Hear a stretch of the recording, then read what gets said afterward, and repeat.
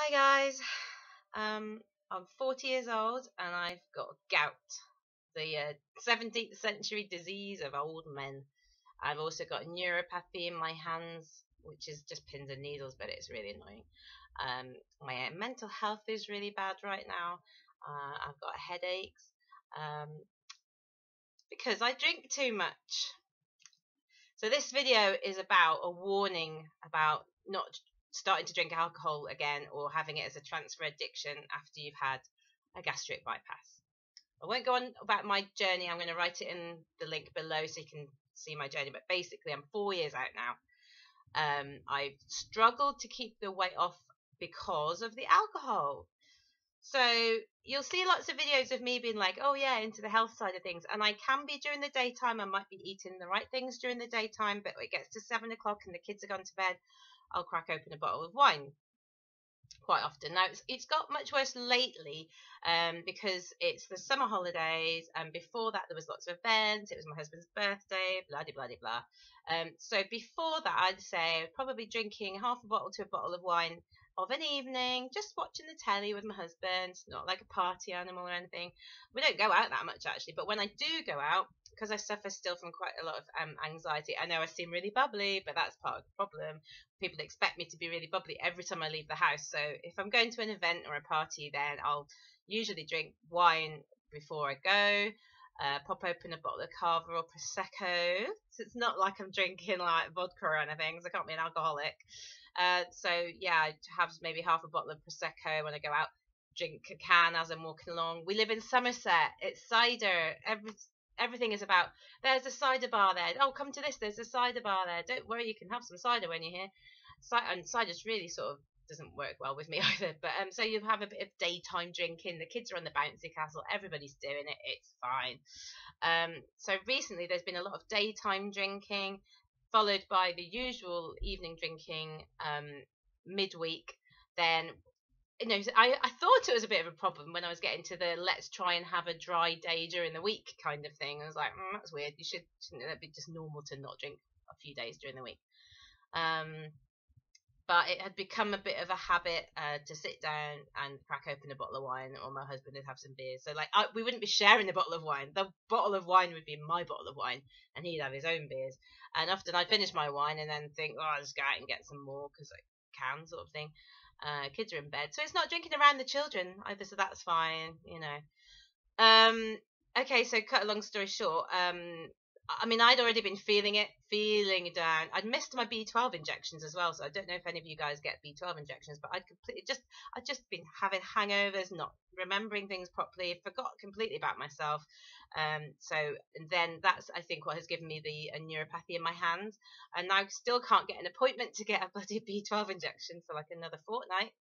So anyway, um, so yeah, it was a it's a problem. I've struggled with addiction all my life, so I've been into drugs. I've had you know, and the alcohol, and, and then the food, which is why I ballooned, and this is why I needed the gastric bypass surgery in the first place. So be careful.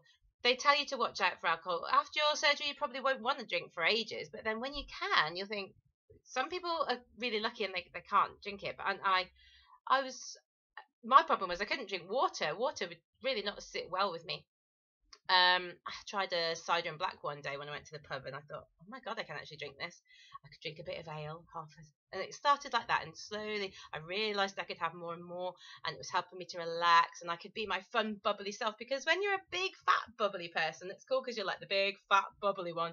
All of a sudden, you get all these identity issues when you start to lose weight, and you are actually like quite good looking and size 16 and stuff, but you know you don't want to put yourself out there because then that's just weird. Um, but with a bit of wine inside you, you can be like this pers- persona that everyone expects you to be.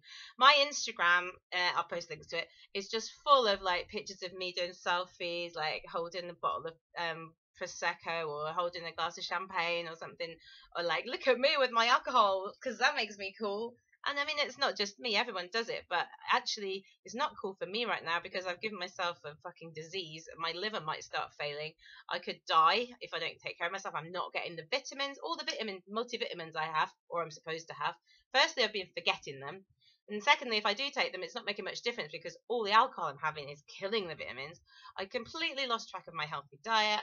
uh, I went on this 12 week weight loss plan, which would have been fantastic. And it's using Herbalife, which is a fantastic product, and it's actually helped me lose weight before surgery. But because I was having like all my Herbalife during the day, and like all my calories were under, and I was logging it all in, in um, MyFitnessPal, and then I'd have a bottle of wine, which is like or more, which is like up to a thousand calories. So then I wondered why at the end of my 12 weeks, yeah, I did lose some weight, but it could have been a lot more.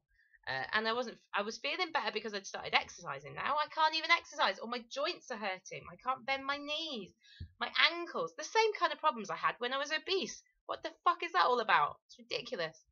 So listen, this I am now five days sober. I couldn't do this before because I was in such a state. It just proves that I had a real problem.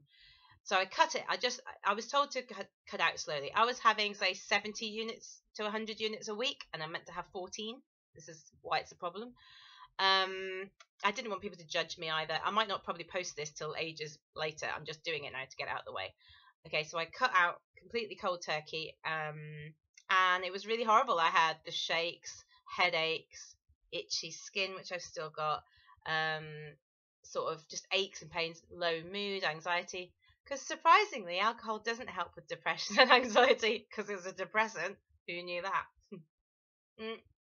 What I've been doing is trying to keep myself busy, trying to drink water, which I can just about drink now, teas, vegetable soups, using food to heal me. Uh, everything I've done sporadically in bouts over the last few years, I'm going to put it all together and actually really try and take this seriously this time because sometimes I couldn't really see a reason. Okay, I've got to a size 16 now. That's fine. I, you know, what's the point of even losing more? This time, it's not about losing weight or how many pounds I've lost. This is about me healing my body and trying to be in optimum shape, optimum health now for me and for my kids for the future. Oh God. Uh, so I'm having lots of anti-inflammatory foods because, as you know, after bypass, I can't really have ibuprofen. So all these aches and swellings and stuff, I can't even have anti-inflammatories for. So I'm having garlic and turmeric um, uh, all these herbs and spices that can help into my food. I'm having lentils and vegetables and curly kale and spinach and green smoothies and my Herbalife protein shakes, which have also got loads and loads of vitamins in, which are going to help me.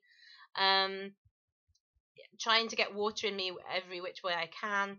Um, trying to cut out sugar as well because uh, I think together that's going to help. So I'm sorry this is a long video, but listen to me. If you can have, if you can go without never having alcohol again after your surgery and use having the surgery as your excuse and enjoy yourself without it, then I think that is the best way. If you can really try and stick to having small drinks and not having it very often and not relying on it as your new transfer addiction, then my friend, you have cracked it. So I'm not sitting here saying I'm going to be teetotal forever. I mean, at my at the moment, the only way I can do it is to try and think this is it. I'm never drinking again because people always say that. But ideally, I'd like to be able to go out and be that person who has a few glasses of um, champagne or whatever and enjoys it. Um, so far, money wise, I've saved 50 quid this week just from five days of not drinking. So that's got to be good. Do comment, do wish me luck. Um, I'm really, really scared I'm going to fail. I'm not crying now. I've spent five days crying. Um, I haven't got that much support around me. I haven't told many people because I'm ashamed and I'm worried that I'm going to fail. So you guys, maybe you don't know me, so I'm not so worried about what you're going to say. But um, nice comments would be great. Uh, and yeah, I will keep you updated. And um, you know, I hope I just this isn't my last video before I die of liver damage because I've really got to do this. I've got to do this this time.